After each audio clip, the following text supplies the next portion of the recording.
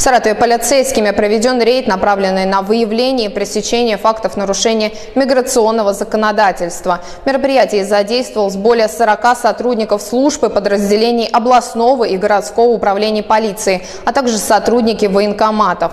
Полицейскими проводилась проверка торговых объектов, увеселительных заведений, мест пребывания иностранных граждан.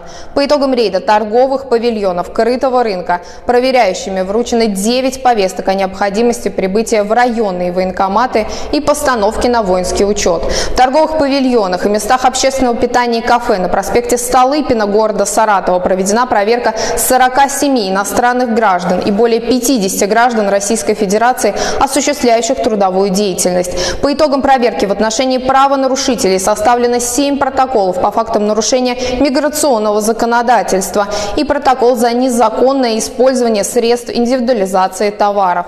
Также сотрудниками городской госавтоинспекции на территориях трех районов города Саратова проведены мероприятия по выявлению иностранных граждан, осуществляющих незаконную трудовую деятельность в сфере пассажироперевозок. Выявлено два факта осуществления пассажироперевозок иностранными гражданами без соответствующей лицензии. Работа в данном направлении будет продолжена.